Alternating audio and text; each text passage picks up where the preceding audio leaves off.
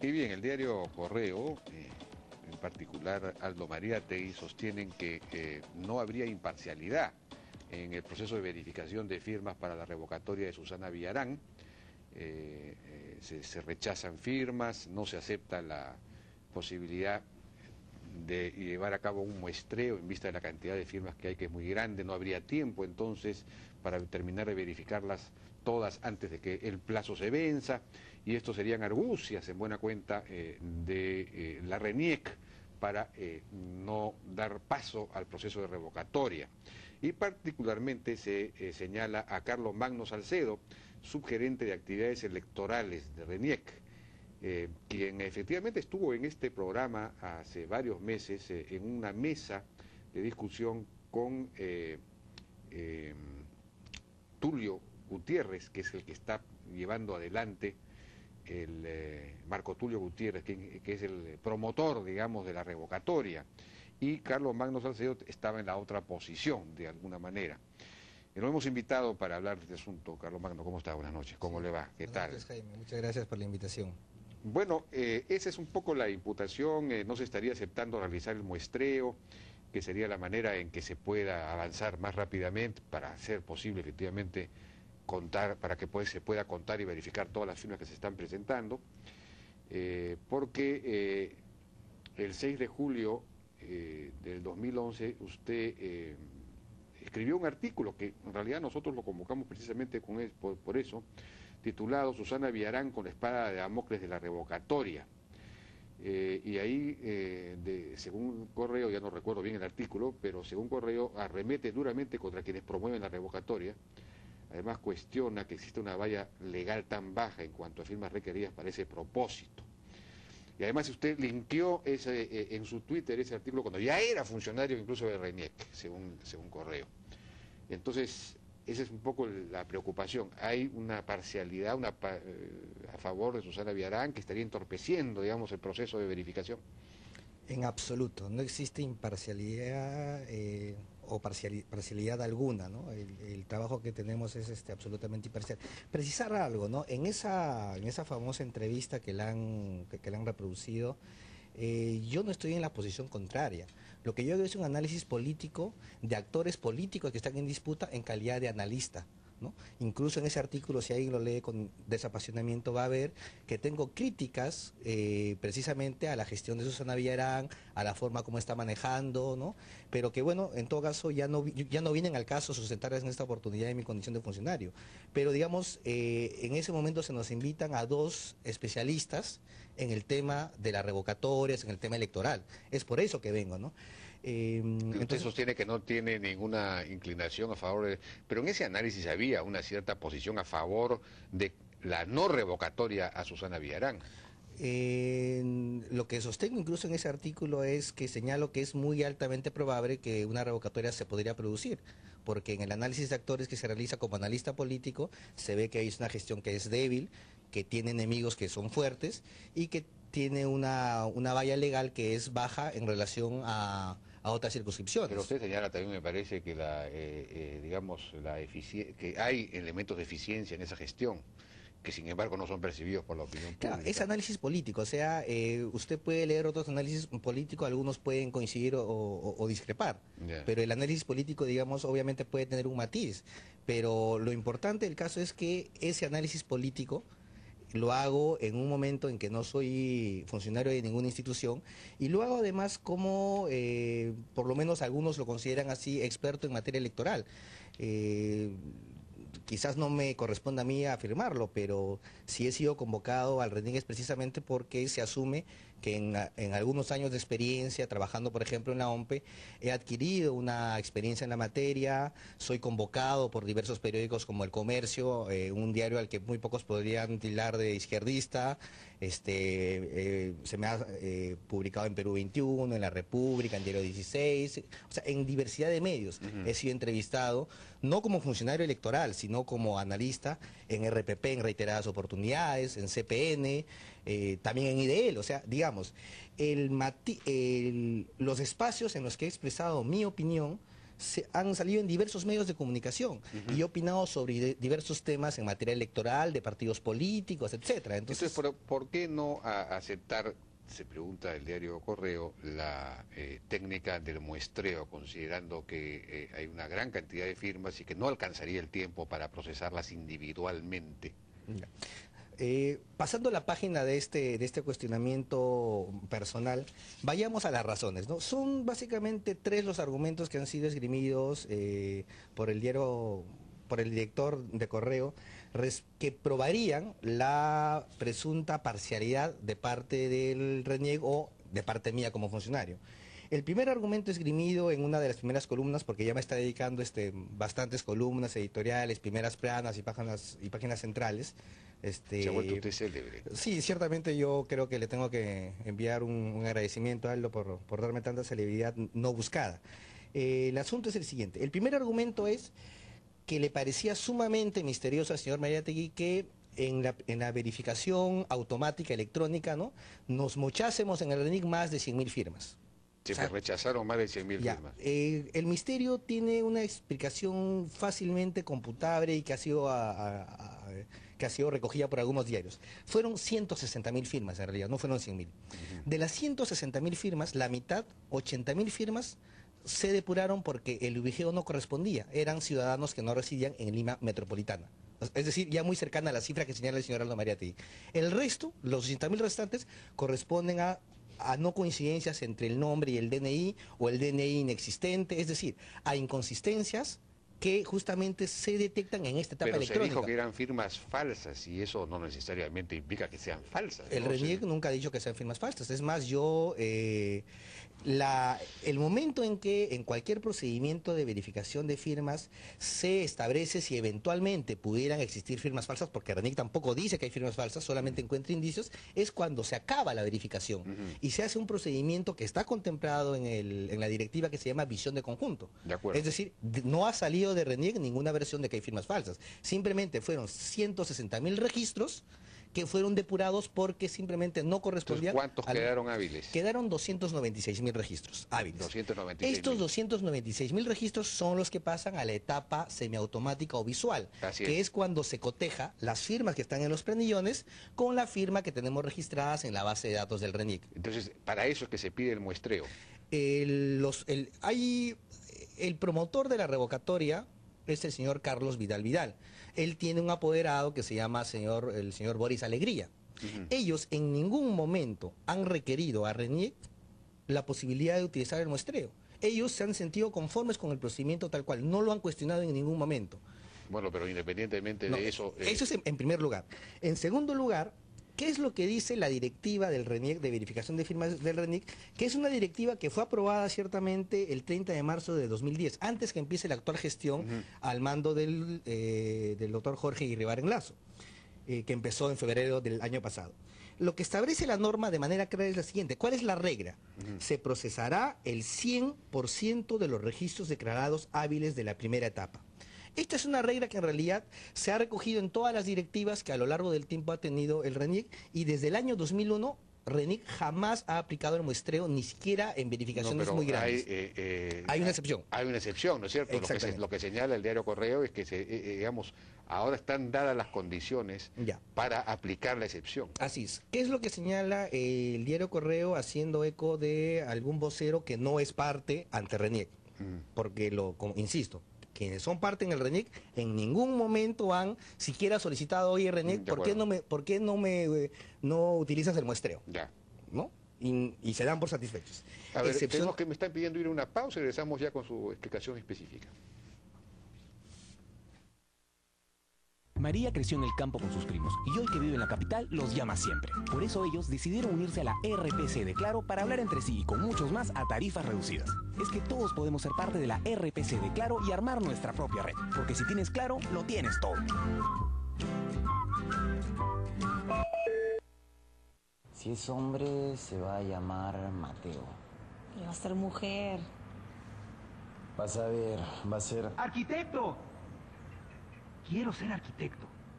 Acá, por ejemplo, pondría una chimenea. Mm, o el baño de visita. Atrás, la escalera de caracol.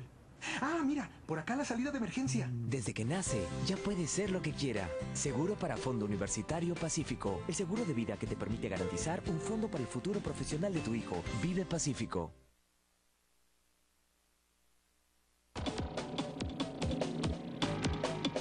Seguimos conversando con Carlos Magno Salceo, subgerente de actividades electorales de RENIEC. Bueno, estábamos hablando entonces de por qué no se puede aplicar la excepción. Ya. ¿Qué es lo que dice la norma de manera literal? Eh, eh, pero, primero, ¿cuál es el argumento de, eh, del medio de comunicación en cuestión o de algún vocero que no es parte ante RENIEC? Que como hay un número grande de firmas, habría que aplicar el muestreo. ¿Qué es lo que dice la norma? Porque no alcanzaría el tiempo. ¿Qué es lo que dice la norma? Excepcionalmente, ¿Cuándo se aplica esta excepción?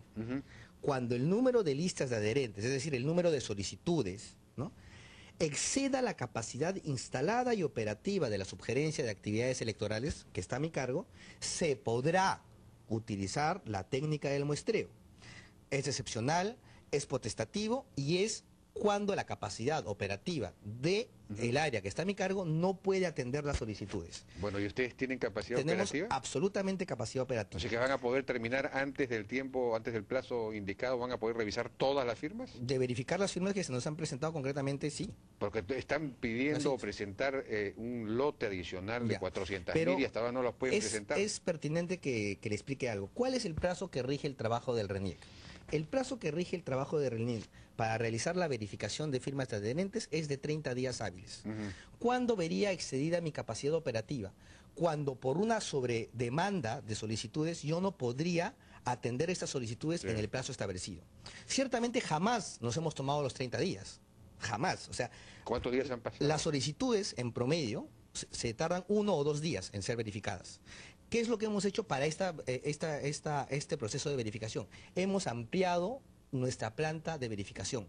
Yo he pasado de tener seis trabajadores que hacían verificación de firmas a tener actualmente 48 trabajadores dedicados a esta función que trabajan en doble turno. Con esa capacidad operativa si hoy día me presentan una solicitud, mañana o pasado está siendo atendida. Pero obviamente si son más pequeñas. ¿Qué pasa cuando una solicitud es muy grande como la de Lima? La de Lima empezó con 450 mil firmas. Fue admitida a trámite el lunes 14 de mayo. Al día siguiente se empezó el procedimiento de verificación. El 15 de mayo se hizo la verificación electrónica, que es donde fueron depuradas las 160 mil. El día miércoles, o sea, el día siguiente empezó la verificación visual, la verificación, el cotejo. Y estaríamos nosotros de, terminar o mañana al final del día o a más tardar el lunes en, la mañana. Lunes en la mañana se terminaría de verificar este lote. No, no, el jueves en la mañana. Mañana este es miércoles, este lote. ¿En cuántos días nos habríamos tomado? Nueve o diez días para verificar casi medio millón de firmas. Eso permítame decirlo, constituye un récord respecto a la capacidad de una institución de verificar firmas. Bueno, pero tienen 400 mil más que hasta no las pueden presentar mientras no terminen ustedes esto. porque el procedimiento establece que si no completan las firmas, si no llegan, concluido un primer lote, se establece cuál es el número que le faltaría. Si es que, si es que se produce esta voluntariedad, señor, le faltan X número de firmas. Puede usted presentar un lote adicional que tenga mínimo ese X número de firmas. Y eso lo podrían presentar inmediatamente, obtenido el resultado, podrían presentar ¿Y cómo va el resultado? Nosotros ahorita ya hemos eh, verificado 235 mil firmas, ¿no? Faltan, digamos... Eh, y de esas 235 mil, ¿cuántas son válidas? Un promedio de un tercio de firmas aproximadamente son las que se están declarando inválidas. Ah, ya, o sea que aquí eh, un tercio de 235 mil. Aproximadamente, ¿no? Son, números gruesos, ciertamente, ¿no? Entonces, eso es más o menos el resultado. Este... Se requiere eh, eh total 400 y pico mil, ¿cuántas firmas se requiere para aprobar? Para Lima Metropolitana se requieren 400 mil firmas. 400 mil firmas. ¿Ya? El, el otro elemento que es menester considerar es el siguiente, ¿no? Para realizar este procedimiento, cada uno de los verificadores se encuentra acompañado de un representante del promotor y de un veedor acreditado por las autoridades que serían sometidas a revocatoria, que permanentemente están con el personal viendo la transparencia del proceso. es decir, ¿qué es lo que yo le quiero, el mensaje que queremos dar? Nosotros hemos sido absolutamente escrupulosos en el cumplimiento de las directivas y normas que rigen este procedimiento. No hemos transgredido ninguna disposición. ¿Cuál es el problema concreto acá? Que lamentablemente para algunos... Eh, promotores no les alcanzaría el plazo fijado por el Jurado Nacional de Elecciones para admitir las solicitudes que incluiría en la consulta, en la primera consulta convocada el mes de septiembre, que no va a ser la única consulta. Seguramente el jurado va a convocar a otras consultas, porque el periodo de revocatoria va a ser el año 2012 no, pero en y este 2013. Caso, en este caso... Para efectos de la consulta que el jurado ha establecido en su cronograma, que es en septiembre, ha determinado que va a aceptar todas las solicitudes que hasta el día 25 de mayo ¿no? cumplan con los requisitos, tanto el requisito de RENIEC de las firmas como el requisito que tienen que acreditar ante la OMP. Hasta el 25 de mayo se pueden presentar. A lo que se termine de verificar hasta el 25. Hasta ah, el 25 pero el, de mayo. Pero el 25 de mayo ya, ya es este pasado Es mañana. ese, claro.